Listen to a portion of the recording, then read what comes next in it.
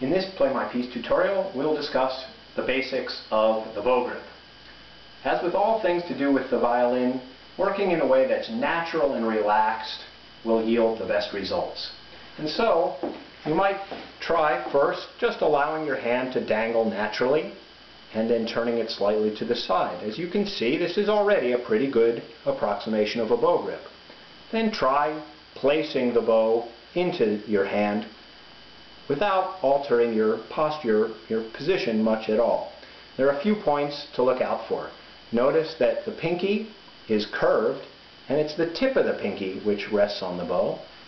The index finger, slightly on its side, contacts the bow between the first and second knuckles, right about there.